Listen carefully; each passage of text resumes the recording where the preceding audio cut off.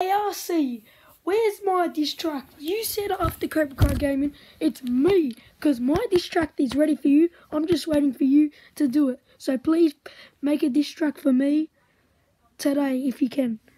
Thank you.